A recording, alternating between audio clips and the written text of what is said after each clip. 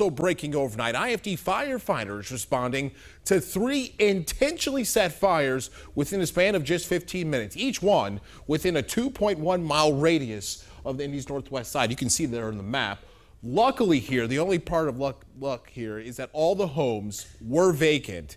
Crews were dispatched. The first one at 10:30, 10:28 last night on Eugene Street.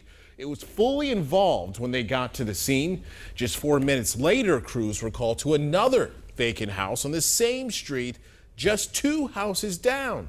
11 minutes later, a third fire was reported at 38th and Kenwood. That fire also fully involved when crews arrived. Now, fortunately, no one was hurt in these fires, and crews were able to get each one under control pretty quickly. But again, IFD and IMPD investigators have determined they were intentionally set.